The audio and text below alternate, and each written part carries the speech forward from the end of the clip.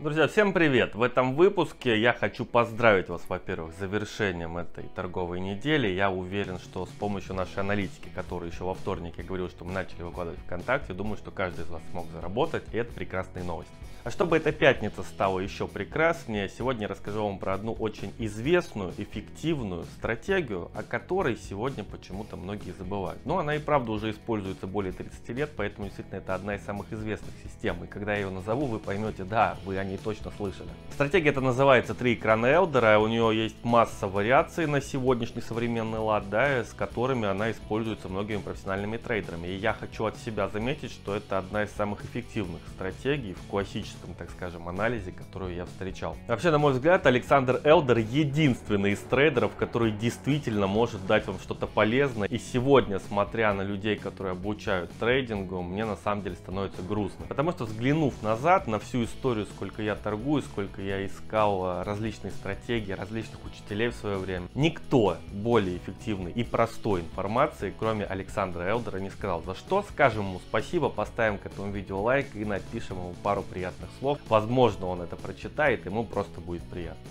Итак, начнем с того, что по сути, если разобрать весь а, валютный рынок на движение, то у нас есть по факту два основных аспекта. Первый аспект заключается в том, что рынок подвержен неким импульсам, то есть движениям в рамках тренда, очень быстрым, резким. Они проходят, э, могут пройти буквально за час, за два и выстрелить там в 200-300 пунктов. Я думаю, каждый из вас, если вы торгуете хотя бы год, с этим точно сталкивался. И дай бог, чтобы вы в этот момент не использовали мартингейл, чтобы позиция не улетала просто в космос. Ну и, соответственно, второй момент, э, так вот, вот, второй, да, Второй момент это, конечно же, коррекции. Коррекция это движение против тренда и, соответственно, занимают они намного больше времени, чем импульсы. Ну так вот, если мы посмотрим с вами на выбранном нами таймфрейме, к примеру, это будет 15-минутный график, э, взглянем на график, увидим движение, да, и нам покажется, вот, вот, это импульс в сторону тренда, надо залетать в уходящий поезд, то буквально перевернув страницу, да, переключив таймфрейм, перейдя на 4-часовой график, вы можете увидеть, что это просто коррекция от основного тренда. Если мы вспомним с вами теорию Доу, то основная мысль да, заключается в том, что все, любые движения на рынке, они подвержены какой-то основной тенденции. И вот именно в стратегии 3 экрана Элдера мы с вами сможем Первое. Определить основную доминирующую тенденцию, даже без панели Big Trader. Может быть это будет не совсем так точно, потому что не изучаются какие-то внутренние, внутридневные а, поведения крупных участников толпы, но по факту этого достаточно для начинающего трейдера, для того, чтобы почувствовать на себе, да, на рынке можно зарабатывать и стабильно получать деньги. Ну вот, чтобы такая мысль у него сформировалась, достаточно стратегии 3 экрана Elder. Ну, как, как минимум понятно, да, 3 экрана, то есть мы берем с вами 3 таймфрейма, выставляем на нашем э, терминале три отдельных окошка с разными таймфреймами, с одним и тем же инструментом. Кстати, э, с этой стратегией вы можете использовать десятки валютных инструментов, ограничений здесь нет.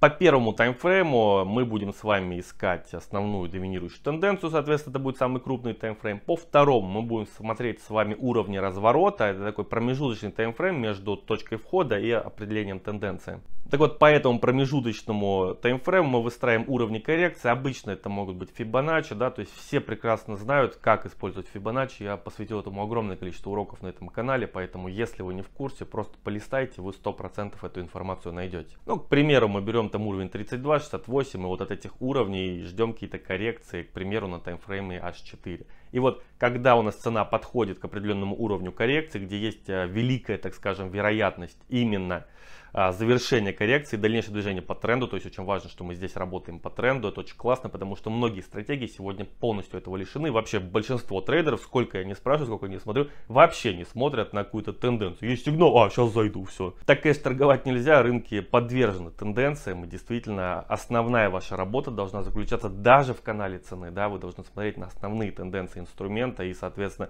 если, к примеру, тенденция у вас бычья, ну, желательно, если вы торгуете в канале консолидации, покупать э, с нижней стороны канала. Продавать, соответственно, в данной ситуации имеет смысл как минимум э, снизить лот. Ну так вот, давайте я в двух-трех словах просто объясню вам методологию подхода трех экранов Элдера, и в дальнейшем вы сможете подробно изучить эту информацию, ссылочка будет в описании. Основной самой популярной раскладкой является таймфрейм D1, то есть дневные графики, таймфрейм 4-часовых графиков и, соответственно, для поиска точек входа таймфрейм часовые графики. По таймфрейму D1 мы с вами можем выстраивать различные трендовые линии, соответственно, смотреть, в какой, в какой динамике идет у нас валютная пара. Можно использовать MACD, пожалуйста, используйте индикаторы на дневных таймфреймах, они очень неплохо работают. Дальше мы, соответственно, переходим на 4-часовой график, расставляем уровни Fibonacci по нашему сложившемуся тренду. Да? Как только цена касается какого-либо коррекционного уровня Fibonacci, мы переходим на часовой график и просто дожидаемся паттерна price action. Это может быть пин-бар, поглощение, все, что что угодно, что вы успели изучить в методе Price.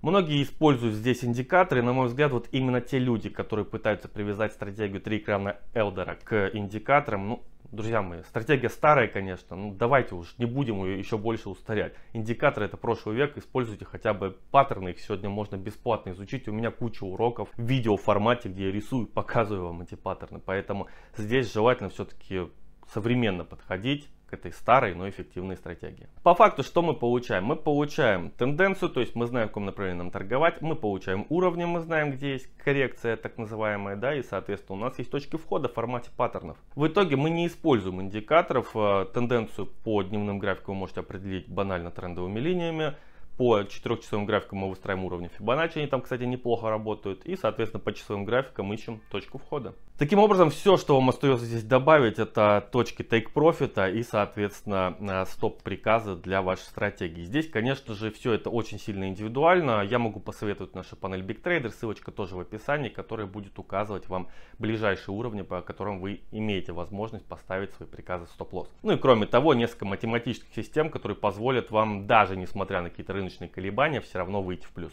На этом у меня все. Всем желаю хороших выходных. Всех вас люблю, обнимаю. Ставьте, пожалуйста, лайки, пишите комментарии под этим выпуском. Не забывайте нажать на колокольчик и подписывайтесь на этот канал, если видите меня впервые. Всем спасибо. Ну а полный разбор стратегии 3 экрана Элдера выложен на нашем сайте. Ссылочка, напомню, в описании. Всем спасибо. Пока.